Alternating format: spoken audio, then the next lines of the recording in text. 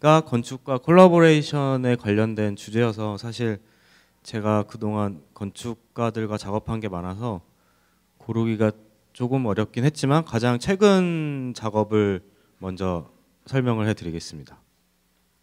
어, 요거는 현대 국립미술관에서 진행을 했던 2015년 젊은 건축가 프로그램 중에 하나였는데요. 저희는 저는 이제 미디어 아티스트로서 노션 아키텍처와 함께 협업을 하여 컨셉부터 이제 마지막 디자인까지 도출했던 작업이고요.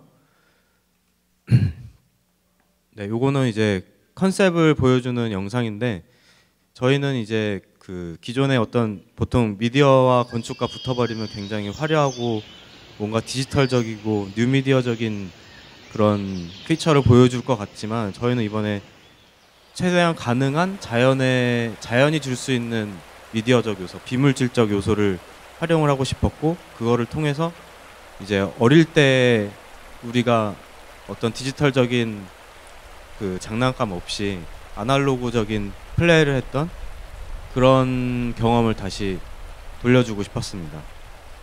그래서 보시면 이건 그냥 컨셉 영상이라서 뭐 그냥 한번 넘겨보겠습니다. 네.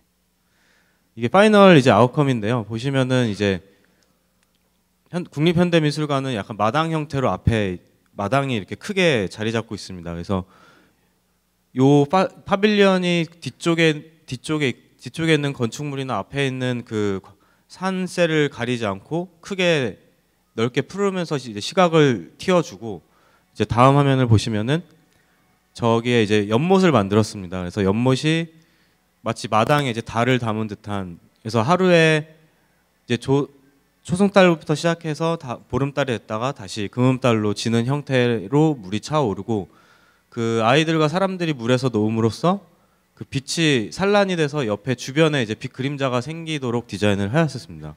그리고 뒤에 이제 다음 슬라이드를 보시면은 이제 밤에는 이제 뒤에 이제 네트 형태로 되어 있는 구조에서 어떤 대규모 구, 공연을 담을 수 있고 그리고 저 저 material을 해서 미디어 파사드를 할 수 있는 이제 형태로 이제 공연 플랫폼으로 디자인이 기본적으로 디자인이 됐었고요.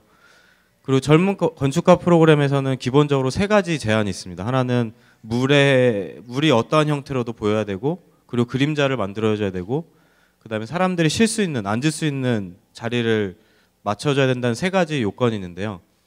그래서 저희는 아 그리고 그 추가적으로 이제 대규모 공연을 담고 싶었다라는 그, 그 목적에 의해서 이제 굉장히 열려 있고 어차피 사면이 막혀 있기 때문에 한 면만 뚫려 있어서 굳이 어떤 조형물을 통해서 다른 불필요한 요소를 작업할 필요는 없었습니다. 그래서 가장 중요한 거는 낮에는 이제 자연적인 형태로 빛과 그림자를 담고 그 형태는 이제 달이 되고 밤에는 다음 슬라이드를 보시면은 이제 각 그 옥상에서 쏘는 이제 프로젝션 매핑으로 대형 달이 떠 있는 형태의 이제 파빌리온을 디자인했었습니다.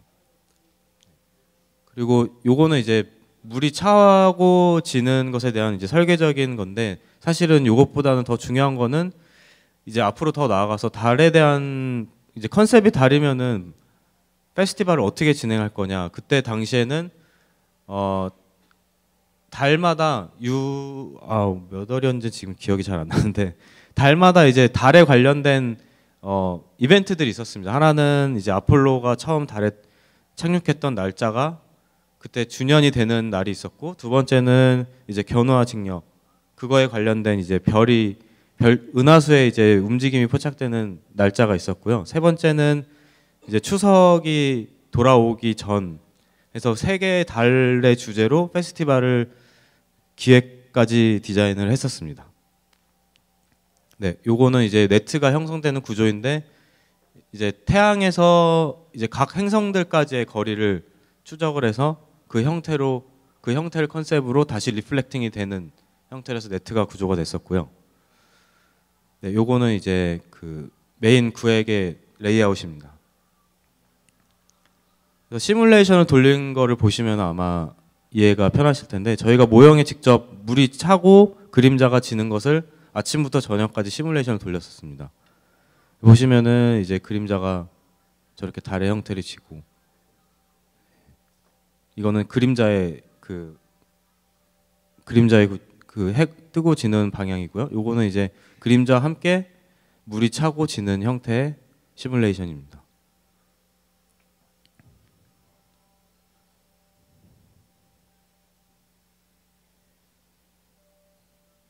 네, 요거는 이제 프로젝션 매핑이 들어갔을 때 테스트를 해본 건데 사실 지형이 굉장히, 어, 모형이 굉장히 작았기 때문에 크게 정말 리얼한 프로, 어, 시뮬레이션은 아니었지만 저 달 같은 경우에는 저희가 밤에 틀어놓을 어, 미디어 설치물로서는 적당한 시뮬레이션이었고요. 네, 이거는 넘겨주셔도 되겠습니다. 아, 그리고 요거는 이제 개인 작업인데 사실 어, 건축 관련해서 파사드 매핑의 작업을 갖고 올까 하다가 가장 최근 작업이기도 하고 어쨌든 이것도 내부 파사드 매핑이기 때문에 요거는 어, 징비록을 이제 민속 박물관에서 전시를 시작하면서 이제 징비록이 보관되고 있는 방을 들어가기 전에 하나의 그 역사적 flow를 통해서 미디어 아트를 경험할 수 있는 전시였습니다. 그래서 보시면은 저거는 직접 이제 드로잉한 9m 정도의 이제 면이 있고요. 그 위에 그 그림 위에 projection mapping할 작품입니다. 다음 슬라이드. 네. 그래서 요거는 이제 중간에 이제 스틸인데요. 옆에 이제 방에 대한 정보가 기록이 돼 있고 요거는 이제 projection mapping이 되고 있는 한 면입니다. 네, 요것도 역사 flow가 이제 날짜와 이제 그 중국어와 영어로 번역이 되는 아무래도 그 어, 관광객들이 많이 오는 그 장소이기 때문에 저런 장치를 통해서 이제 scene별로 구성이 들어갔던 projection mapping입니다. 네, 요거는 기록한 메이킹 필름인데요. 어, 필름이 있고 지금 저쪽에 제가 설치해 놓은 거는 실제 플레이된 콘텐츠는 저쪽 위에 설치를 해 놨습니다. 네, 요거는 분량이 좀 기니까 어, 다음에 한번 찾아보시기 바랍니다. 감사합니다.